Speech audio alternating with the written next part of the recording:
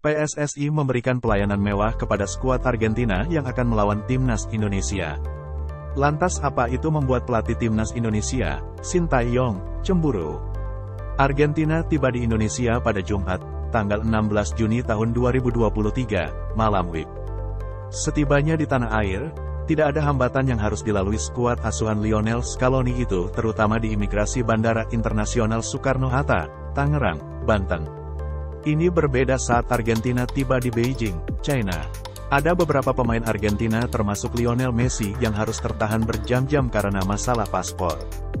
Di Bandara Internasional Soekarno-Hatta, ada penyambutan meriah dari PSSI kepada juara Piala Dunia 2022 itu. Setiap pemain dan ofisial tim dikalungi kain sebagai tanda penghormatan. Selanjutnya, pengawalan ketat pun dilakukan untuk sampai ke Hotel Fairmont, Senayan, Jakarta Pusat. Wajar ini dilakukan PSSI untuk mengantisipasi supporter yang ingin melihat Argentina dari jarak dekat.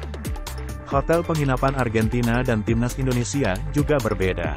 Timnas Indonesia dikabarkan menginap di Hotel Sultan, Senayan, Jakarta Pusat.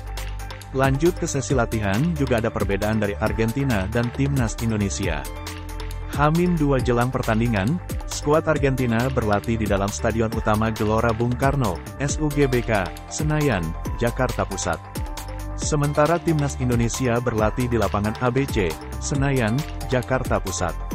Sebelumnya lawan-lawan yang dihadapi timnas Indonesia di FIFA Matchday selalu berlatih di tempat yang sama dengan skuad Garuda.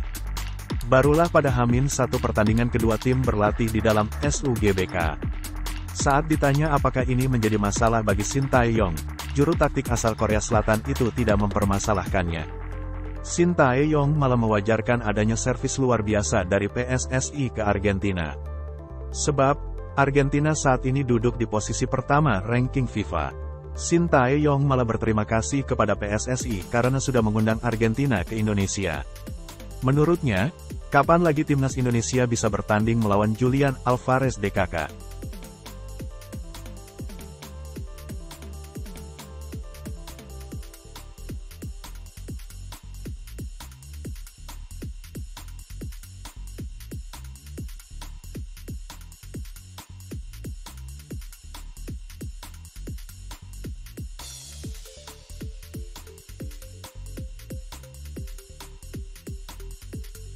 Terima kasih sudah nonton.